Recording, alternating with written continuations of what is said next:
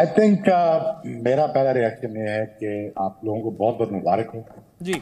आप दस जीत के ग्यारहवा ना जीत सके और uh, बहुत अच्छा खेले हिंदुस्तान और बहुत मुबारकबाद की। अकदार है कि uh, हिंदुस्तान ने कैरेक्टर दिखाया। पैसा तो दिखाया दिखाया कैरेक्टर दिखाया टीम बनाई कप्तान बनाया।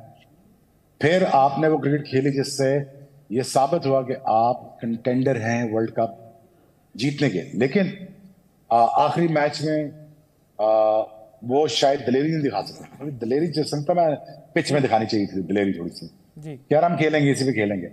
वो नहीं दिखा सके लेकिन कोई बात नहीं lot to learn from this लेकिन Hindustan thoroughly deserve a round of plot in terms of के बहुत अच्छा खेले हैं टूर्नामेंट में। अगर कोई टीम इतना अच्छा खेल के और आखिरी का मैच में नहीं जीती तो मैं बिल्कुल बुरा नहीं मनाऊँगा और मैं लॉट टू टेक होम मुझे रोहित शर्मा के लिए बहुत दुख हो रहा है और मुझे तकलीफ़ हो रही है उसके लिए कि यार उसको जीतना चाहिए था.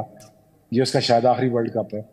But again it's it's sad ending but क्या खूबसूरत वर्ल्ड कप कराया आपने?